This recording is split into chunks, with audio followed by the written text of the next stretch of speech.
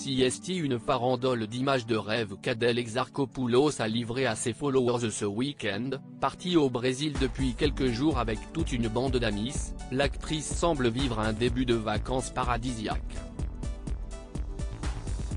Entre les baignades en pleine nature, les siestes improvisées ou même les balades en bateau au milieu des dauphins, la jeune femme de 29 ans est aux anges.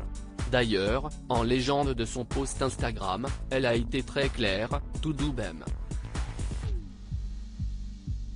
Tout va bien. Un post qui a ravi ses abonnés, qui ont été nombreux à lui souhaiter de s'éclater. Ses copines Géraldine Nakache, Demdem ou encore son ami producteur Hugo Célignac n'ont d'ailleurs pas manqué de lui laisser un petit commentaire affectueux.